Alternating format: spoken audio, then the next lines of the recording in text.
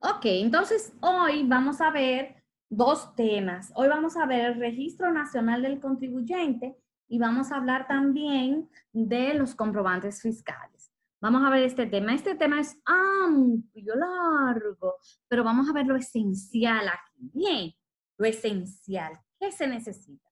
¿Qué es el RNC? Todas esas cosas vamos a ver. Entonces, yo supongo que ustedes han escuchado eso, el RNC. Bien, entonces el RNC significa la R, registro, la N, nacional, y la C, contribuyentes. Registro Nacional de Contribuyente. Eso es un número de identificación tributaria. Ese es mi número, mi código como contribuyente. Bien, eso se estableció en el 1970. Ese número lo administra la Dirección General de Impuestos Internos, la DGI, y es el código de identificación.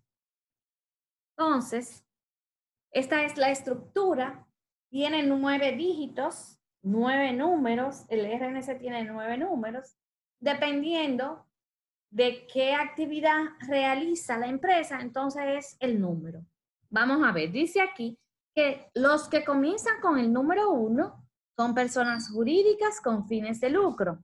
Los que comienzan con número cuatro son personas jurídicas sin fines de lucro. Pero mucho ojo aquí. Dice cinco personas físicas, pero no es así. Persona física, la estructura del RNC es su cédula. Vamos a ver aquí. Aquí hay un número de RNC 1, 130, 999991. Eso es un ejemplo. El 1 significa, vamos, miren, significa que es persona jurídica con fines de lucro. ¿Cuáles son las personas jurídicas con fines de lucro? Las que trabajan para obtener utilidades. Lucro es igual a utilidades en este caso. Entonces, todas las empresas que trabajen para tener utilidades, tu RNC inicia con 1. 1, mírenlo aquí.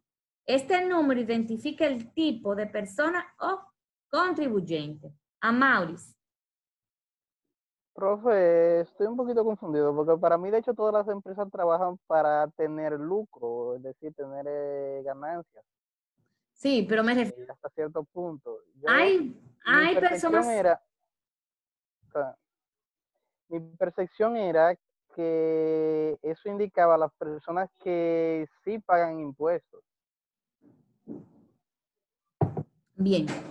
Entonces, vamos a. Eh, a lo mejor te, cuando yo termine a Mauri, ¿verdad? Eh, pueda aclararse esa duda tuya. Entonces, que el número uno es para, em, eh, para personas jurídicas lucrativas que obtienen ganancias, ¿verdad? El número uno, número uno. El número cuatro, si comienza con número cuatro, es para personas jurídicas, para personas jurídicas que su fin no es el lucro, que no es la utilidad, ¿verdad? Que no es utilidad. Entonces, personas jurídicas lucrativas. ¿Cuáles, ¿Cuáles tenemos? Las empresas, en su generalidad. Personas jurídicas no lucrativas, que su fin no es dinero.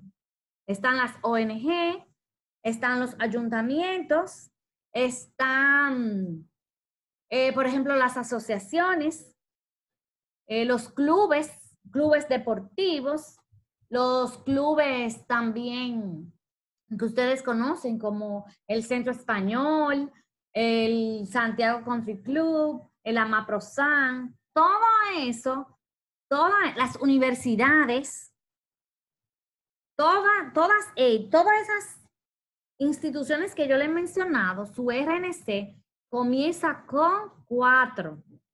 Con cuatro. ¿Por qué? Porque su fin no es obtener utilidades. Bien, las universidades, el fin no es tener eh, utilidades. Bien, en eh, los clubes que yo le mencioné, su fin no es obtener utilidades. Bien, ¿entendieron esa diferencia?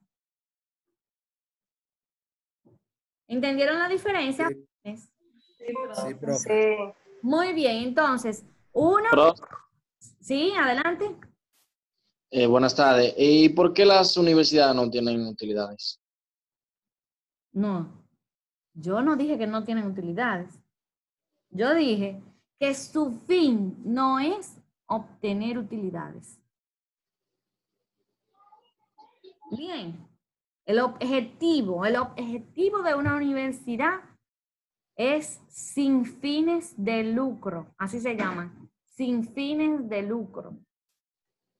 Su objetivo no es tener ganancia. ah, bueno. No, ninguna universidad. Entonces. Aunque la tengan, profe. Aunque la tengan. Eso es otra cosa. Aquí yo le enseño lo que establece la ley. Recuerden eso. Bien. Entonces, las universidades comienzan con cuatro, ¿verdad? Esos clubes que yo le mencioné comienzan con cuatro. Todas esas instituciones que se dicen llamar fundaciones comienzan con cuatro, porque su fin no es obtener lucro. Y las demás empresas empiezan con uno.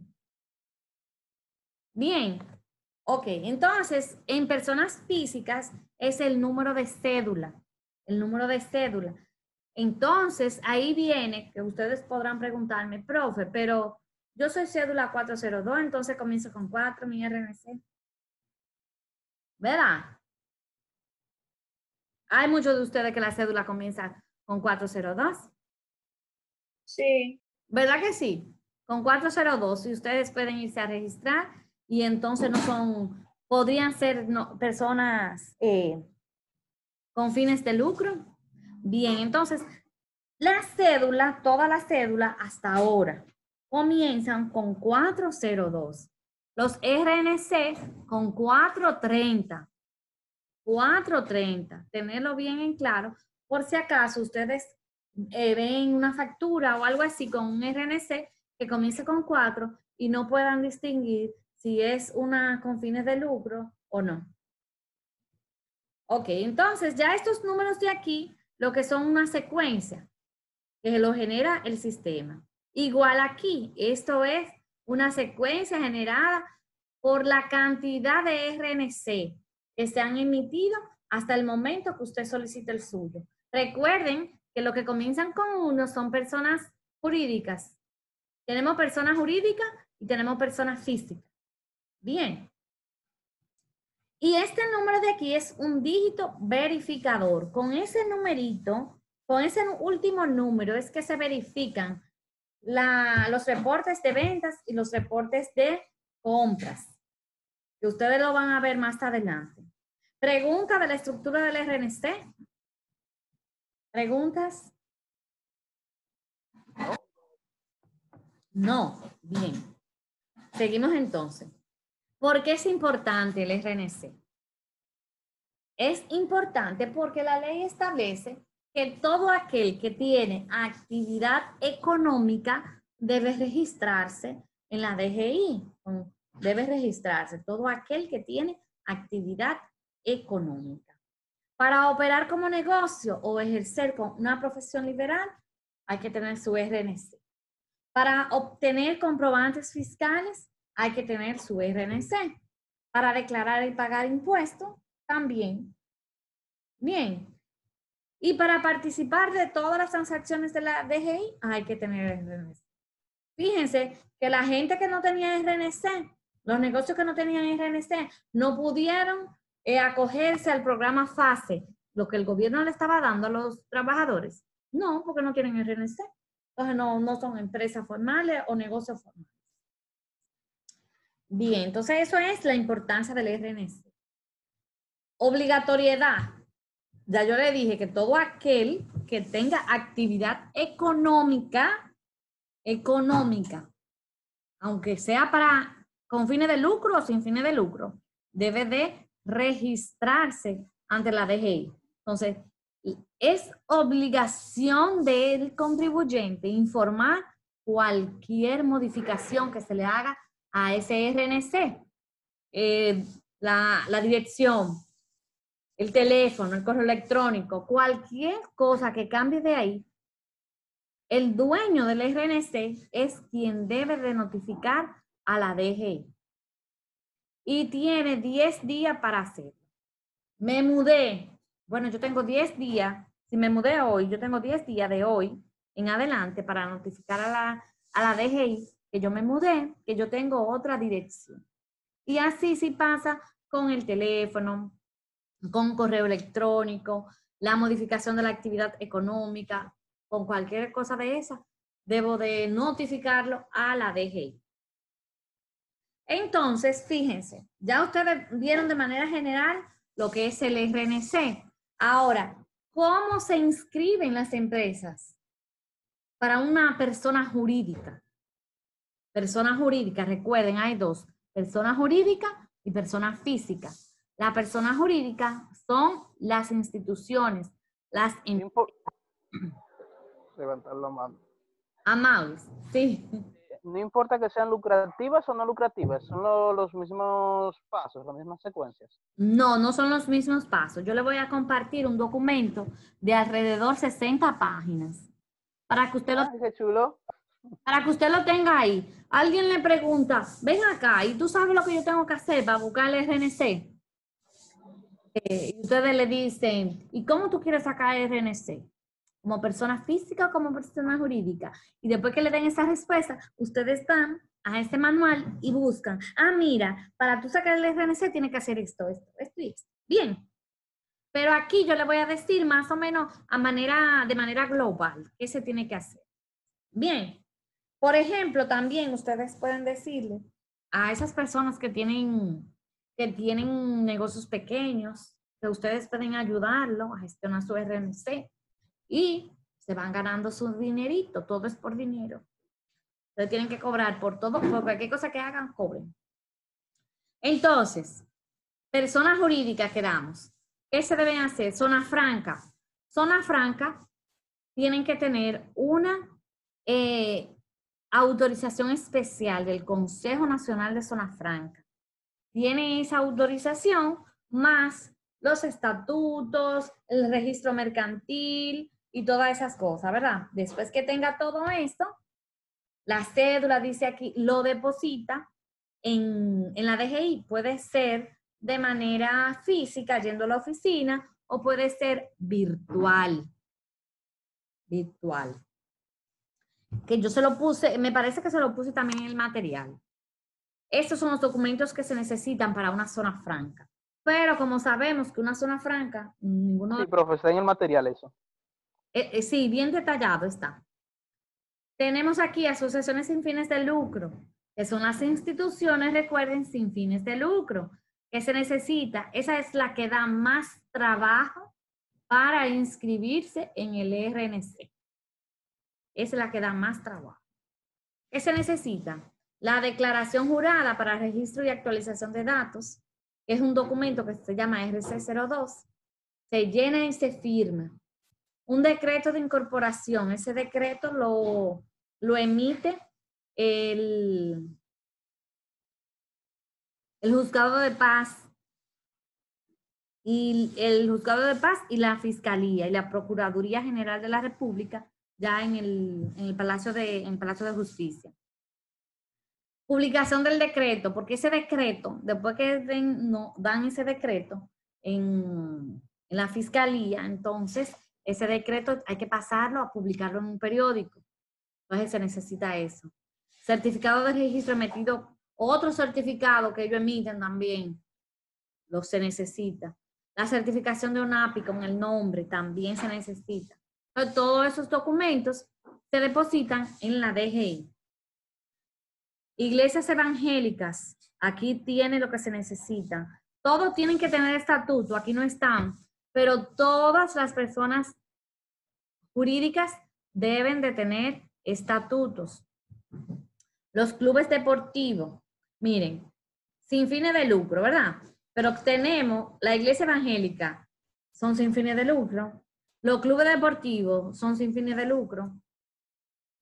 Cada uno tiene que tener una certificación de la institución. Por ejemplo, la iglesia evangélica tiene que tener eh, de la Procuraduría, el Club Deportivo del Ministerio de Deportes, una certificación. Y así sucesivamente. En el documento que yo le voy a compartir más adelante, ahí están, le digo, son 60 páginas que están. Y ahí le detalla lo que se necesita para, para inscribirse, lo que se necesita para modificar y lo que se necesita para el cese. Ok, entonces vamos a hablar de personas físicas. Personas jurídicas, dijimos que son las empresas, instituciones. Personas físicas, ¿quién es? Yamil Rodríguez es una persona física. Entonces, ¿qué yo tengo que hacer para yo obtener mi RNC? Yo voy a la DGI, completo un formulario que se llama RC01. Yo se lo voy a mandar para que hagan prácticas. Completo ese formulario, lo lleno, lo deposito. Mi copia de cédula. Si tengo pasaporte, si soy extranjera, el pasaporte. Copia del certificado de registro mercantil, si se posee. Copia del registro a nombre comercial emitido por ONAPI, si aplica. Fíjense, déjenme decirle algo aquí. Si usted no tiene registro, si yo no tengo, porque el ejemplo soy yo, ¿verdad? Que voy a ir a la DGI. Si Yamil Rodríguez no tiene registro mercantil, la DGI me va a dar mi RNC. Si Yamil Rodríguez no tiene el nombre registrado en ONAPI, la DGI me va a dar mi RNC, ¿verdad? Pero ¿qué pasa? Que hay otra ley por ahí, no la ley de, de impuestos, hay otra ley de sociedades que dice que todas, las que todas las instituciones y todos los negocios, sean formales o informales, deben tener un registro mercantil. Entonces, no hay una persona física registrada en el RNC que tenga registro mercantil. Y si la hay, yo no la conozco y muy poca. ¿Y qué pasó ahora para el sistema de fase? Ay, quedaron enganchadas porque a muchas personas físicas no le aprobaron lo de fase y por qué. Ah, bueno, no le aprobaron porque tenía una actividad diferente. Ah, ok, pues vamos a arreglar la actividad. Cuando se dispusieron a arreglar la actividad, ¿qué le pidieron? Ah, mándame el registro mercantil, que que dice la actividad. Ah, pues yo no lo tengo el registro mercantil. Y que ninguna persona física tiene registro mercantil. ¿Qué le quiero decir con esto? Que si ustedes, porque ustedes están estudiando para algo, ¿verdad? Uno invierte para que esa inversión retorne, ¿cierto? Entonces, ustedes pueden ya desde ahora, claro está, tienen que leer mucho, decirle a la gente que ustedes pueden hacer ese proceso de obtener RNC para personas físicas. Ustedes pueden hacerlo. Entonces, ¿qué le van a decir a esa persona física? Ah, mira, eh, es importante que tú saques el registro mercantil porque hay en diferentes ocasiones pueden pedírtelo y si tú, lo si no lo tienes, entonces no puedes aplicar para ciertos beneficios. Es importante eh, solicitar el registro mercantil. Eso se obtiene en la Cámara de Comercio. Bien. Y el registro de ONAPI, si es una- un establecimiento lo que tiene esa persona física y no tiene el nombre registrado. Miren, hay gente física, persona física, que tienen un negocio de, por ejemplo, de impresiones. Tengo mi negocio de impresiones. Y, dame un chance, Joana, y tienen ese negocio. Se llama impresiones y más, por ejemplo. Se llama así. Ah, bueno, mandan a hacer tarjetas. Tienen tarjetas de presentación con el nombre, impresiones y más. Tienen uniformes con el nombre, uniformes y más. Hasta factura de esa eh, eh, sin comprobante fiscal. Te dice eh, impresiones y más. Pero, ¿y tiene certificado de ONAPI? No. ¿Y entonces por qué está usando ese nombre? Ese nombre no le corresponde. Si hay otra gente, otra empresa que tiene ese nombre, pues podemos tener problemas. Importante dos cosas de esto, de personas físicas. El nombre que debe estar registrado en ONAPI. En ONAPI usted va con el nombre, le cobran casi 5 mil pesos y a las 24 horas le dan el certificado. El registro mercantil ya dura un poquito más, creo que una semana, pero también se puede obtener fácilmente. Joana, que tú ibas a hablar. Joana. Joana, ¿me escucha?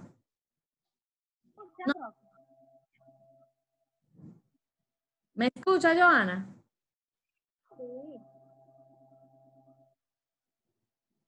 Bien, entonces eh, continuamos aquí. ¿Alguna pregunta hasta ahora? Vimos RNC de personas físicas y RNC de personas jurídicas. Dice Joana, ¿dónde es que se obtiene el registro mercantil? El registro mercantil se obtiene en la Cámara de Comercio. Eh, no, Joana, yo no te escucho. Si los demás te escuchan, yo no. Bien, entonces el registro mercantil en la, en la Cámara de Comercio, eso está ubicado en las carreras casi eh, llegando al monumento. ONAPI está en el Huacalito, la segunda planta. Bien. Entonces vamos a continuar. Si tienen alguna pregunta. Hasta ahora, jóvenes.